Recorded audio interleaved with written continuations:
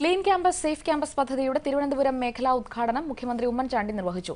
പദ്ധതിയുടെ brand ambassador നടൻ മമ്മൂട്ടി കുട്ടികൾക്ക് പ്രതിജ്ഞ ചൊല്ലിക്കൊടുത്തു. ലഹരിവിരുദ്ധ സമൂഹത്തിനായി ഏഷ്യാനെറ്റ് ന്യൂസ് സംഘടിപ്പിച്ച പരിപാടികൾ മറ്റു മാധ്യമങ്ങൾ ഏറ്റെടുക്കണമെന്ന് മന്ത്രി രമേശ് ചെന്നിത്തല ആവശ്യപ്പെട്ടു. പതിനായിരക്കണക്കിന് കുട്ടികൾ പങ്കെടുത്ത റാലിയോടെയാണ് ക്ലീൻ ക്യാമ്പസ് സേഫ് ക്യാമ്പസ് പദ്ധതിയുടെ ഉദ്ഘാടന ചടങ്ങുകൾ തുടങ്ങിയത്. വില വർദ്ധിപ്പിച്ചും ലഭ്യത കുറച്ചും ലഹരിയുടെ ഉപഭോഗം കുറയ്ക്കുകയാണ് ലക്ഷ്യമെന്ന് മുഖ്യമന്ത്രി പറഞ്ഞു. ലഭ്യത കുറയ്ക്കുക വില കൂട്ടുക. ഈ രണ്ട് മാർഗവും ഗവൺമെന്റ് ഒരേ സമയത്ത് നടപ്പിലാക്കുന്നത് ഇതിന്റെ ഉപയോഗം കുറച്ചു കൊണ്ടുവരാൻ വേണ്ടിയാണ്.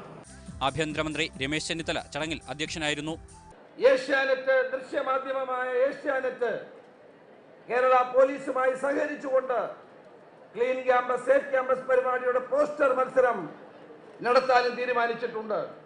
മറ്റ് ദൃശ്യമാധ്യമങ്ങൾ കൂടി ഈ ലഹരിക്കെതിരായിട്ടുള്ള പ്രചരണങ്ങളുമായി മുന്നോട്ട് വരണമെന്ന് ഞാൻ അഭ്യർത്ഥിക്കുകയാണ്. ഓരോ വിദ്യാർത്ഥികളും ക്ലീൻ ക്യാമ്പസ് സേഫ് ക്യാമ്പസ് പദ്ധതിയുടെ ബ്രാൻഡ് അംബാസഡർമാരായി മാറുകയാണ് വേണ്ടതെന്ന് പ്രതിപക്ഷ നേതാവ് വി എസ് അച്യുതാനന്ദൻ പറഞ്ഞു. കുട്ടികളോട് എനിക്ക് അഭ്യർത്ഥിക്കാനുള്ളത് നിങ്ങൾ ഓരോരുത്തരും ക്ലീൻ ക്യാമ്പസ് സേഫ് ക്യാമ്പസ് പദ്ധതിയുടെ അംബാസിഡർമാരായി മാറണമെന്നാണ് എനിക്ക് അഭ്യർത്ഥിക്കാനുള്ളത്. നന്മയും സദ്ഗുണങ്ങളും പരിപോഷിപ്പിക്കാനും. പദ്ധതിയുടെ ബ്രാൻഡ് അംബാസഡർ നടൻ മമ്മൂട്ടി കുട്ടികൾക്ക് ലഹരി വിരുദ്ധ പ്രതിജ്ഞ ചൊല്ലിക്കൊടുത്തു. അതുകൊണ്ട് ഒന്ന് നിരോധിച്ചുകൊണ്ട് ഇത് നിർമ്മാർജനം ചെയ്യാൻ സാധിക്കുമെന്ന് എനിക്ക് തോന്നുന്നില്ല.